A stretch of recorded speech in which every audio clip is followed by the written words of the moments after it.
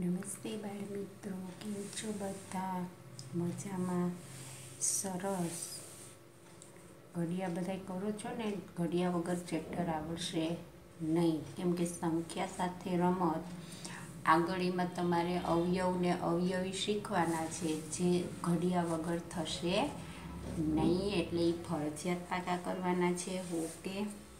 તો આગળનું બધાને થઈ ગયું હશે ને? ભેગું પાકું કરતું જવાનું છો બધાએ ખાલી જગ્યાને એવું. ઓકે, તો હવે પેજ નંબર પેજ નંબર અઢાર ખોલીશું. અધૂરી ખાલી જગ્યા છે ને આપણે? ત્રીજા ચેપ્ટરમાં દાખલા બીજાની નવ કરી લીધી છે, બરાબર? પેજ નંબર અઢાર ઉપર દસમી ખાલી જગ્યા સૌથી પહેલાં શું લખીશું? તારીખ તો આજે કઈ તારીખ છે? તો કે છવ્વીસ. ચલો પહેલાં તારીખ લખી લો છવ્વીસ, સાત, એકવીસ. હવે ત્યાર પછી કાઉન્સમાંથી જોઈને તમારે કરવાની છે. બરાબર, તો ખાલી જગ્યા દસ. લીટી ન હોય તો તમારે પેન્સિલથી કરી દેવાની, ઘાટી વ્યવસ્થિત રીતે બરાબર આ રીતના લીટી પાડેલી હોવી જોઈએ.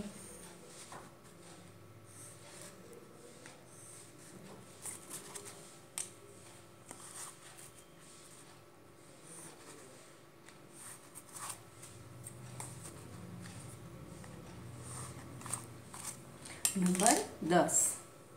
ખાલી જગ્યા એ બેકી, સંખ્યા છે, ખાલી જગ્યા બે કે સંખ્યા છે? અહીં કાઉન્સ આપ્યું છે તમારે. સુડતાલીસ, એકસઠ અને છન્નું. બરાબર, તો બે કી કઈ કહેવાય? તો આપણને ખબર જ છે, બે, ચાર, છ, આઠ અને શૂન્ય. આવી તમને પહેલાં લખાવી દીધી છે. ત્રીજા ધોરણથી આપણને ખબર છે કે આ બેકી સંખ્યા કહેવાય. બે, ચાર, છ, આઠ, શૂન્ય. એકમનો અંક, એટલે કે છેલ્લો અંક જોવાનો. તો અહીંયા છે સુડતાલીસ, એકસઠ અને છન્નું. તો છન્નું એટલે છ એકમ છે. છ છે એ બેકી સંખ્યા છે. એટલે ખાલી જગ્યામાં શું આવશે? છન્નું. નંબર બાર, અગિયાર. ખાલી જગ્યાએ અવિભાજ્ય સંખ્યા છે. અવિભાજ્ય સંખ્યા કોને કહેવાય? તો કે જે સંખ્યાને બે જ અવયવ હોય એને અવિભાજ્ય સંખ્યા કહે છે. બેથી વધારે અવયવ હોય તો એ કેવી કહેવાય? વિભાજ્ય. તો એ આમાં છે ત્રાણું સિત્યાસી અને ઇકોતેર. તો ઇકોતેર છે એ અવિભાજ્ય સંખ્યા છે. કેમ કે ઇકોતેર એકા ઇકોતેર એક જ આવે. બીજે ક્યાંય ઇકોતેર એક ઘડિયામાં છે નહીં. બરાબર? તો અહીંયા ઇકોતેર બારમી ખાલી જગ્યા. ખાલી જગ્યા એ વિભાજ્ય સંખ્યા છે. હવે આમાંથી વિભાજ્ય સંખ્યા તો સત્તાણું નથી, સડસઠ નથી, સત્તાવન. બરાબર? સત્તાવન, ઓગણીસ, તેરી, સત્તાવન સત્તાવન ઘણી જગ્યાએ આવે. એટલે અહીંયા સત્તાવન કરીશું. નંબર તેર. દસના બધા અવયવોની સંખ્યા લખો. હવે દસના અવયવ તમારે લખવાના હોય, બધાય લખવાના છે. તો તમને પહેલાં દસના અવયવ આવડવા જોઈએ પહેલાં કેવી રીતે કરવાના?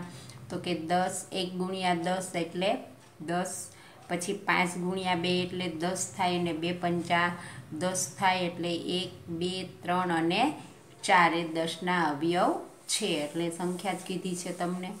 તમારે શીખવા માટે આવી રીતે કરવું પડે કે એક ગુણ્યા દસ. બે ગુણ્યા પાંચ. બરાબર? પાંચ દુ દસ, અહીંયા પાંચ ગુણ્યા બે. તો કેટલા થાય? તો કે એક, બે, ત્રણ અને ચાર. દસના અવયવ એક, બે, પાંચ અને દસ પોતે. અને કેટલા થયા? એક, બે, ત્રણ અને ચાર થયા. તો અહીં કાઉન્સમાં છે ત્રણ, ચાર અને પાંચ. તો શું આવશે? ચાર. તો અહીંયા ચાર લખવાના. હવે ચૌદની ખાલી જગ્યા.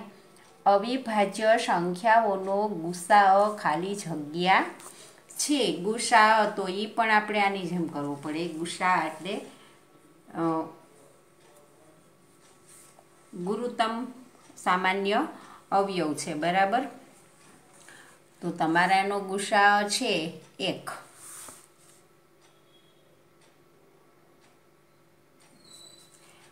પંદરમી ખાલી જગ્યા કોઈ પણ સંખ્યા દસ વડે વિભા વડે વિભાજ્ય હોય તો તે ખાલી જગ્યા પણ વિભા, વડે પણ વિભાજ્ય હોય તો કે શૂન્ય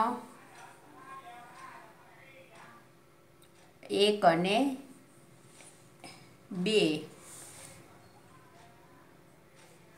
ઉષા થઈ ગયો પંદરમી છે. કોઈ પણ સંખ્યા દસ વડે વિભાજ્ય હોય તો તે ખાલી જગ્યા વડે પણ વિભાજ્ય હોય તો વીસ, પંદર અને એકાવન. તો શું આવશે? એકાવન. હવે ત્યાર પછી એમસીક્યુ છે તમારા બરાબર. વિકલ્પ છે.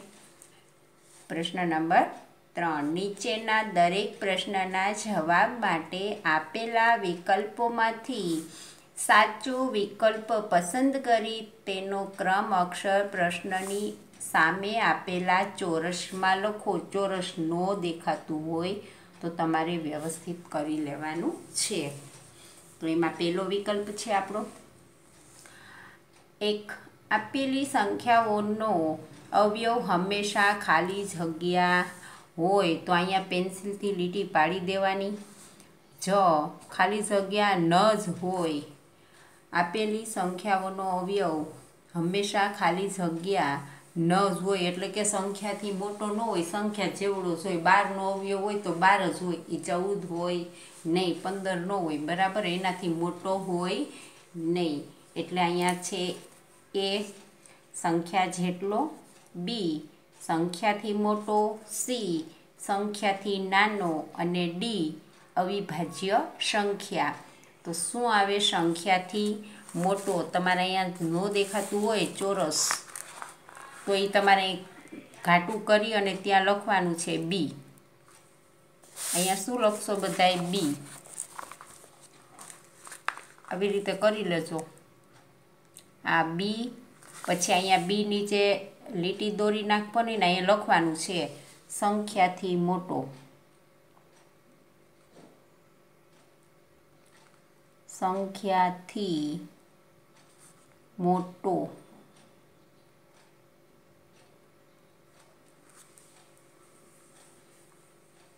ત્યાર પછી બીજું, આપેલી સંખ્યાના અવયવી ખાલી જગ્યા હોય. એ વિભાજ્ય સંખ્યા બી. અવિભાજ્ય સંખ્યા સી, અસંખ્ય. અને ડી, વધુમાં વધુ સો. કેમ કે અવયવની સંખ્યા છે એ નક્કી છે. હમણાં આપણે આગળ જોયું કે દસના અવયવ કેટલા છે, તો કે ચાર છે. પણ અવયવી છે, એની સંખ્યા શું છે? અસંખ્ય છે. પાંચના અવયવી લખો તો પાંચ, દસ, પંદર, વીસ, પચીસ, ત્રીસ, પાંત્રીસ, ચાલીસ, પિસ્તાલીસ, પચાસ, પંચાવન સાઠ આમ આગળ આપણે ઘણા બધા અસંખ્ય કરી શકીએ છીએ, બરાબર? તો એમાં શું આવશે? સી. પેલા સી લખી લેવાનું અહીંયા. બોક્સ તમે લોકો બનાવી લેજો. અને અહીંયા શું લખવાનું? અસંખ્ય.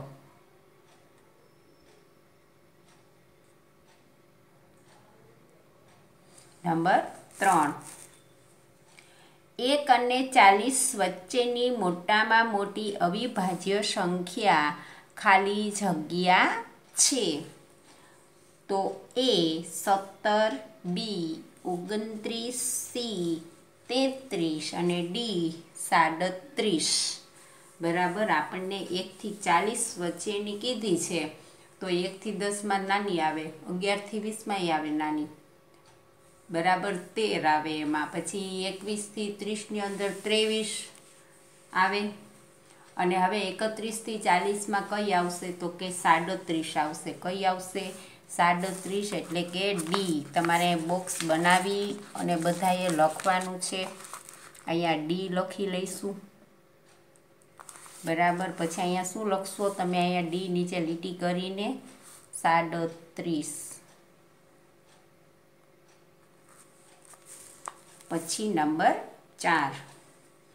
એક હજાર સાતસો અઠ્ઠાવનને ખાલી જગ્યા વડે નિશેષ ભાગી શકાય. એ અગિયાર વડે, બી સાત વડે, સી બે અને ડી પાંચ વડે. તો એકમનો અંક છે એ શું છે અહીંયા? આઠ છે.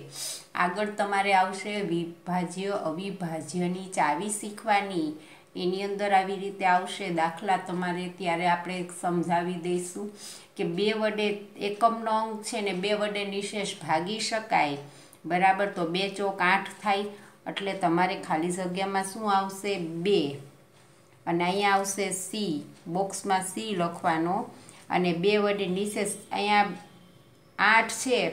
એ બેકી સંખ્યા છે. એકમનો અંક. તો એને આમાંથી કોની વડે ભાગી શકાય? તો કે બે ચોક આઠ થાય, અગિયારમાં ક્યાંય આઠ નહીં સાતમાં ઘડિયા ઘડિયામાં ન આવે. પાંચ એકા પાંચ થાય, પાંચ દુ દસ થાય, બરાબર. પણ બે ચોક કેટલા થશે? આઠ. એટલે અહીંયા શું આવશે? બી આવશે. નંબર પાંચ. એ જ રીતનું છે. છ હજાર સાતસો પંચ્યાસીને ખાલી જગ્યા વડે નિશેષ ભાગી શકાય. આમાંથી કોની વડે ભાગી શકાય? નિશેષ. બરાબર? તો અહીંયા આપણે પાંચ. એકમનો અંક છે, એકી સંખ્યા છે, એટલે પાંચ પાંચ એકા પાંચ. અહીંયા ત્રણ એકા ત્રણ ત્રણ દુ છ થઈ જશે. બે દુ ચાર એટલે શેષ વધશે. પણ પાંચ એકા પાંચ એટલે નિશેષ થાય, એટલે અહીંયા ત્રણ વડે પાંચ વડે ભાગી શકાય, એટલે અહીંયા ડી લખો બોક્સમાં. અને અહીંયા કેટલા લખીશું? પાંચ લખીશું. ત્યાર પછી નંબર છ. નવ હજાર ત્રણસો સત્તરને ખાલી જગ્યા વડે નિશેષ એટલે કે શેષ વગર ભાગી શકાય. શેષ વગર કોને ભાગી શકાય? તો અહીંયા સત્તર છે. બરાબર? તો અગિયાર, અગિયારમાં આવશે. એ બરાબર અગિયાર, બી બરાબર દસ, સી બરાબર બે અને ડી બરાબર પાંચ. તો કોને ભાગી શકાય? અગિયારને. એટલે અહીંયા શું આવશે? એ. અહીંયા એ લખવાનો બોક્સમાં અને અહીંયા પણ શું લખવાનું? અગિયાર. નંબર સાત. આઠસો પાંચ એક્સમાં એક્સ બરાબર ખાલી જગ્યા હોય તો તે સંખ્યાને ત્રણ વડે નિશેષ ભાગી શકાય. એ બરાબર ત્રણ, બી બરાબર છ, સી બરાબર નવ અને ડી બરાબર બે. બરાબર, તો કયા વડે નિશેષ ભાગી શકાય? બે વડે ભાગી શકાય કેમ કે એક્સ આપણે ધારેલી સંખ્યા છે. એટલે અહીંયા બે લખવાના અને અહીંયા શું લખવાનું? બોક્સમાં ડી લખવાનો. ત્યાર પછી નંબર આઠ. આઠ હજાર ચાલીસમાં એક્સમાં એક્સ બરાબર ખાલી જગ્યા હોય તો સંખ્યાને અગિયાર વડે નિશેષ ભાગી શકાય આઠમી ખાલી જગ્યામાં. એમાં તમારે શૂન્ય છે એ કઈ એકમના સ્થાનમાં છે એટલે ચાર બેકી સંખ્યા છે. એટલે ચાર એકા ચાર આપણે ભાગી શકીએ. બરાબર? બે દુ ચાર એમ થઈ શકે એટલે અહીંયા આવશે સી. બોક્સમાં સી લખવાના. અને અહીંયા શું લખવાના? ચાર લખવાના. નંબર નવ. ખાલી જગ્યાને ચાર વડે નિશેષ ભાગી શકાય. ખાલી જગ્યા એટલે કે નીચેની સંખ્યા છે એને ચાર વડે કોને આપણે ભાગી શકીએ છીએ? બરાબર? તો કે બેકી સંખ્યા હોય એને ચાર વડે ભાગી શકાય. શૂન્ય આવશે, તો અહીંયા આવશે સાત હજાર. ચાર પંચા કેટલા થશે? વીસ થશે, બરાબર? એટલે આપણે સાત હજાર પાંચસો વીસ. એટલે બોક્સમાં શું આવશે? ડી. અહીંયા ડી લખવાનું. અને અહીંયા લખવાના સાત હજાર પાંચસો વીસ. હવે દસમી ખાલી જગ્યા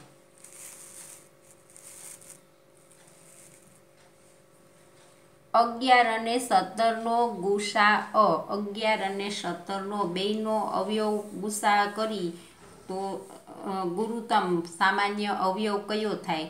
ગુરુતમ સામાન્ય અવયવ, બરાબર? જીએસસી એ જીએલસીએમ થાય છે. એ બરાબર અગિયાર બી બરાબર એક સી બરાબર સત્તર અને ડી બરાબર એકસો સત્યાસી. તો એની અંદર આવશે બેનો ગુરુતમ શું થશે તો કે એક. એટલે બી એટલે એ બોક્સમાં બી લખશું. અને ખાલી જગ્યામાં શું લખીશું? બી એટલે કે એક. અગિયારમી ખાલી જગ્યા.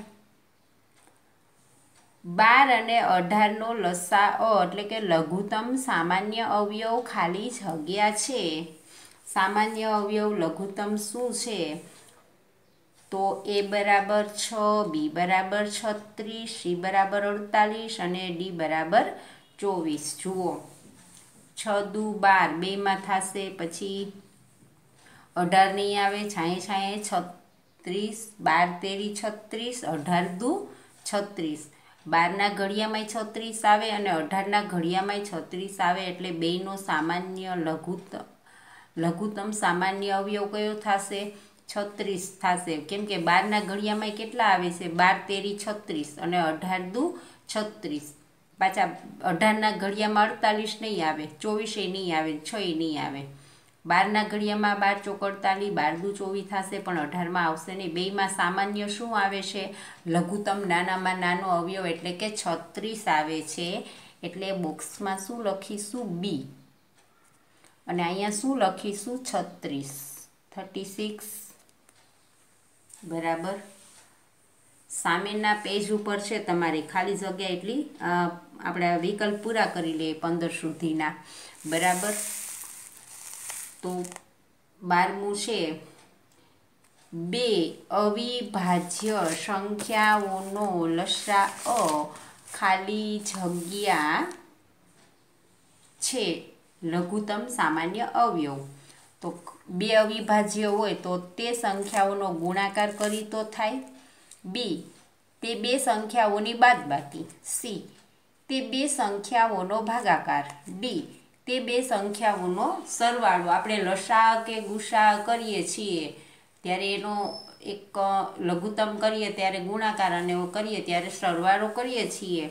એમાં બાદબાકી નથી કરતા, બરાબર? લઘુત્તમ સામાન્ય અવયવ કરવું હોય ત્યારે શું કરી છીએ?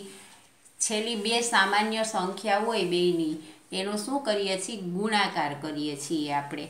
એટલે બોક્સમાં શું તમારે લખવાનું થશે? એ.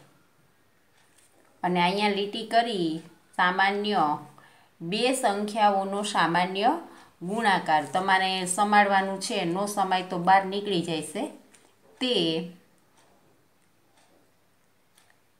બે સંખ્યા ઓનો ગુણાકાર.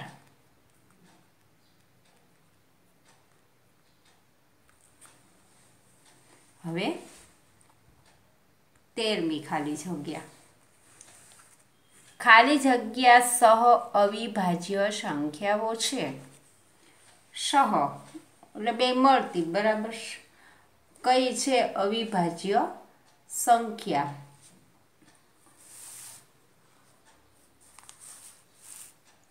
તો એ કઈ છે? તો પેલા વાંચી લઈએ આપણે એના વિકલ્પ. એ બરાબર પંદર અને સોળ, બી બરાબર બાર અને વીસ, સી બરાબર અઢાર અને ચોવીસ અને ડી બરાબર વીસ અને ત્રીસ. તો એની અંદર પણ શું આવે છે? એ. કેવી રીતે? પંદર અને સોળ. પંદર અને સોળ. ચૌદમી વિકલ્પ છે. ચાલીસ અને આઠનો ખાલી જગ્યા આઠ છે. શું છે? ચાલીસનો આઠ શું છે? તો એ લસા, અ, બી, ગુસ્સા, અ, સી, અવયવી અને ડી, અવિભાજ્ય અવયવ. તો આઠ પંચા શું થાય? ચાલીસ થાય. બરાબર? તો ચાલીસે આઠનો શું આવે? અવયવી આવે કે લસા અ આવે કે ગુસ્સા અ આવે, શું આવે? તો એ એનું શું થશે? ગુસ્સા એટલે ચાલીસે આઠનો. આઠે ચાલીસનો હોત તો અવયવી આવત. પણ ચાલીસે આઠનો શું છે? તો કે ગુસ્સા અ એટલે ગુરુતમ સામાન્ય અવયવ છે. એટલે અહીંયા શું લખીશું? બી. અને અહીંયા લખીશું ગુસા અ. થઈ ગયું. પંદરમો વિકલ્પ. ખાલી જગ્યા એ બે, ત્રણ અને પાંચ વડે વિભાજ્ય છે. ખાલી જગ્યા એ બે, ત્રણે અને પાંચ વડે વિભાજ્ય છે. તો શું છે? બે વડે ભાગી શકાય એટલે કે ત્રણેય છે અને પાંચેય છે. તો શું આવશે? જો અહીંયા બે તેરી છ કરી તો થાય, ત્રણ દુ છ થાય અને પાંચ એકા પાંચ. ત્રણેય સાથે વિભાજ્ય, સંખ્યા છે, અવિભાજ્ય નથી. તો એને આપણે ભાગી શકીએ છીએ. બરાબર? પછી અહીંયા આપણે બે વડે કરીએ તો બે. પછી અહીંયા થશે, અહીં થશે અહીં થશે. પણ અહીંયા છેલ્લે બે પંચા દસેય થશે. એટલે અહીંયા આપણે સી લખીશું. અને અહીં લખીશું સાત હજાર સાતસો સિત્તેર. બરાબર? તો તમારા આજના વિકલ્પ છે, વિકલ્પ અને ખાલી જગ્યા તમારે બંને પાકું કરતું જવાનું છે. અને ફરી વખત એકવાર વીડિયો ઓન કરી અને જોઈ લેવાનું, સમજી લેવાનું. બરાબર? કેવી રીતે આપણો વિકલ્પ આવ્યો છે એ સમજી લેજો એકવાર હજી. અને વિકલ્પ અને ખાલી જગ્યા સાથે પાકી પણ કરવાની છે. કેમ કે દાખલા તો આપણે ગોખતા નથી, એટલે આને તો પાકું થઈ જવું જોઈએ ને આટલું. અને ઘડિયા પણ તમારે કરવાના છે. બધાએ પચીસ ઘડિયા રેડી હોવા જોઈએ. ગમે ત્યારે સ્કૂલે આવી ત્યારે આવીશ, નહીં તો કાલ મહિના દી પછી ગમે ત્યારે ખુલશે તો ખરી. ત્યારે તમને ઘડિયા પૂછવામાં આવશે ને ઘડિયા નહીં આવડે તો અવયવ અને અવયવિયા તમને સમજાશે નહીં. કેમ કે આમાં સરવાળો બાદ બાકી નથી. આપણે ઘડિયો જ બોલીને કરવાના દાખલા. એટલે આપણને આવડવું જોઈએ. ઓકે, ફરી આપણે આવતીકાલે મળીશું.